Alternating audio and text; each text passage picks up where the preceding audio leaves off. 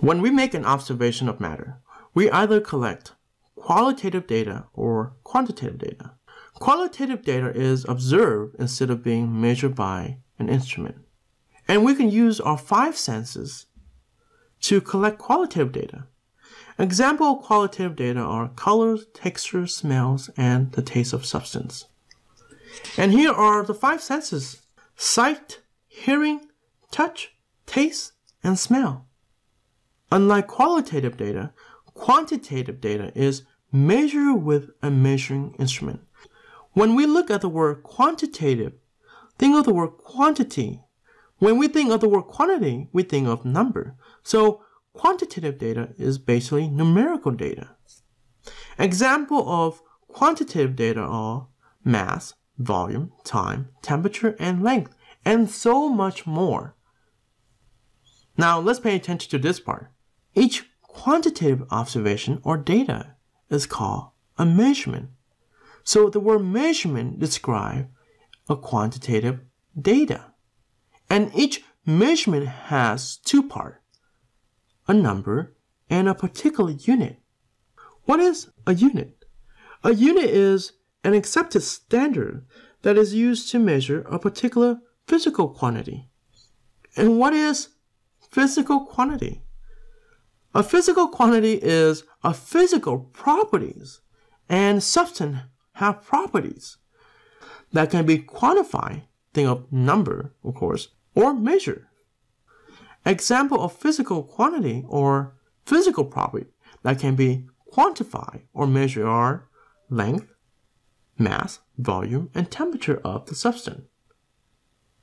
Now let's describe more about the unit. Each unit is standardized to represent a particular values.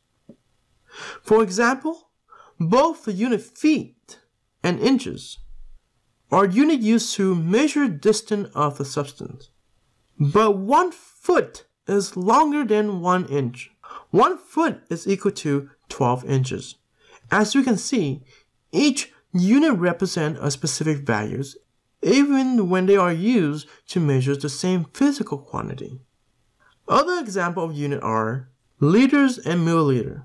Both units are used to measure volume of the substance. However, one liter is a lot more than one milliliter because one liter is equal to 1,000 milliliter. In the United States, the unit dollar and penny are both units of US currency. However, the unit dollar is a lot more than the unit penny because $1 is equal to 100 penny. And in chemistry, a unit will include a chemical formula to label the substance that's being measured because different substances have different physical properties. Here I have different measurements. Let's identify the part in the measurement. We have 35.1, that would be the number. Gram, that would be the unit. 17 would be the number. This would be the unit. 37.1 gram NaCl. This number is the number part.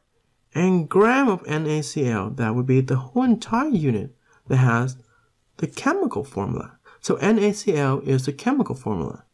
Then we have 3.02 times 10 to the 22 or 22nd power atoms of Na, which is sodium.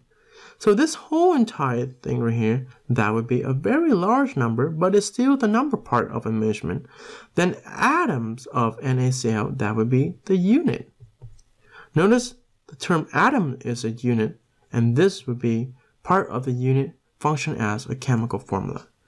Then we have 1.7 mole of H2O, dihydrogen monoxide. 1.7, that would be your number. And this mole of H2O, that would be your unit. And the chemical formula is dihydrogen monoxide.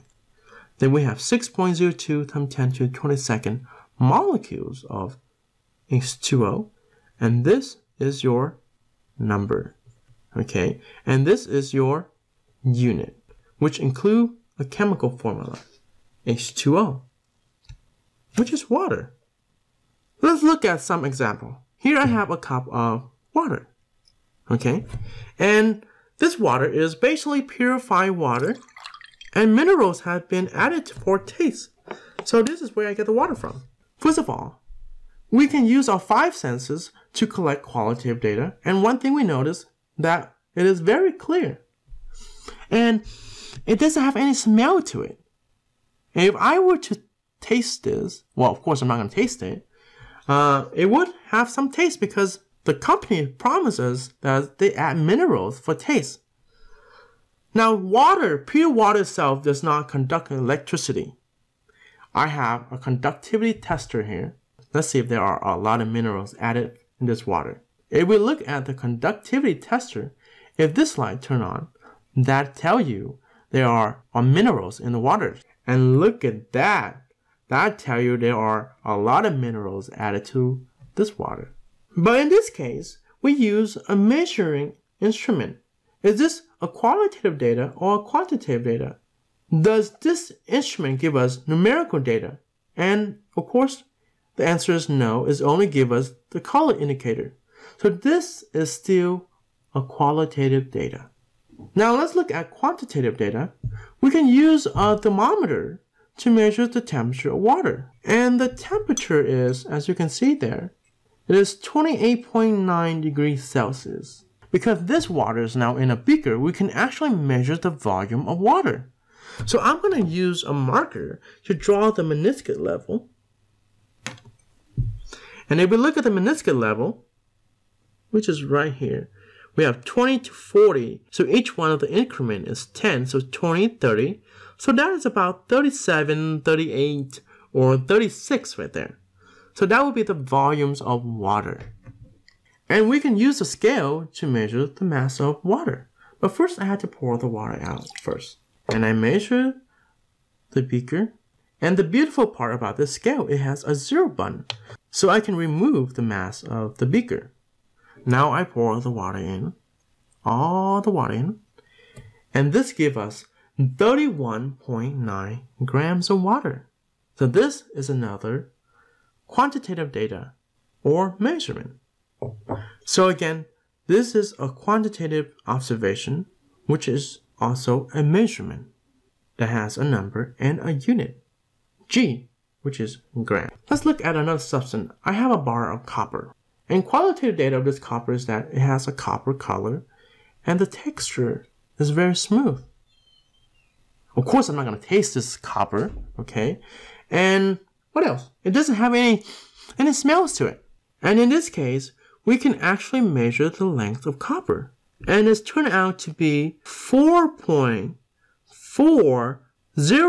centimeter.